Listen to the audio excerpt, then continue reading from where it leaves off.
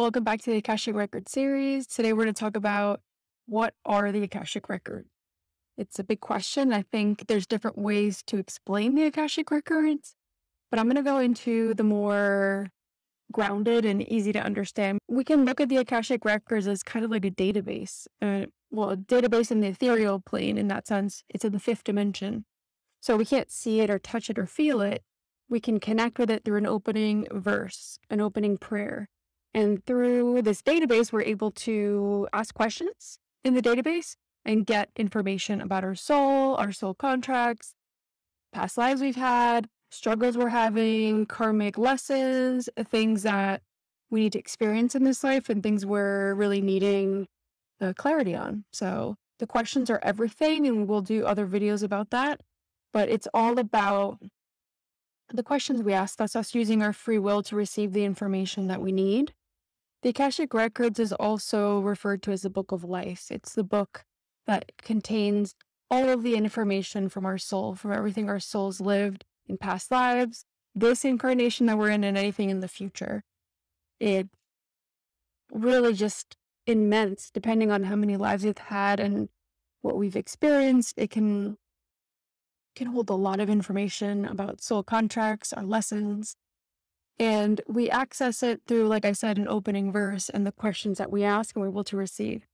We'll go into the channeling process a little bit later in some other videos, but really, if we can imagine this infinite library in the ethereal plane in the fifth dimension with just rows and rows of books, and each soul has a book. The author of that book is the soul. So each of us has a book that we can access, or someone can access it for us by opening our record. And we're able to obtain information, understand ourselves deeper, understand our soul contracts, understand contracts with other souls. And it brings so much clarity. It helps us understand ourselves. It helps us understand our path, why we're struggling, why things are repeating. It's an amazing tool and I use it for so many years just to open my own records, and I felt it was so, so useful. So you could look at it as this book or a database, whatever you want to look at it as. I don't want to complicate it too much, but it's this idea of a library that contains a lot of books. We access that library, that book, through an opening verse, and we're able to extract information. So essentially, when we ask a question and we're downloading it or receiving that information, is coming from the book. The book contains it all. And we are able to ask and access that information, especially for opening our own. But if we're opening somebody else's, they can give us permission and we can get that information for them. So I hope that kind of explains it a little bit. I don't want to go too deep into it, but know that it is in the ethereal plane, so we can't see it, we can't touch it. Although some people, when they do connect, they can receive visions. Like, for example, Sometimes I will see a book, I'll see the book open. It can help you a little bit kind of just know that you're in that library. So it kind of just gives you that indication that you've, the, like, the records are open. It's beautiful. It's just this beautiful energy. Like I said, it's in the fifth dimension. So it helps us feel more connected. It helps us feel just more serene. You know, when I open my records, I always feel more calm. I feel more centered. I feel more grounded. I feel more connected to myself. And the same thing happens when you open somebody else's records. Generally, they'll feel a sense of peace, a sense of connection that they might not feel in their day to day. So now that the Akashic Records really is just this place, this energy that if we have a good intention, we're able to connect with it.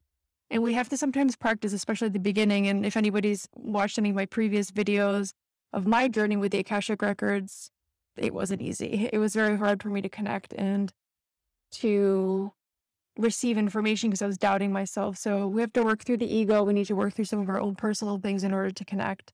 And that'll for sure help us in this process with the Akashic Records. So stay tuned for the next video and you'll be able to kind of get more information about the Akashic Records. If you enjoyed this video, make sure you give it a thumbs up.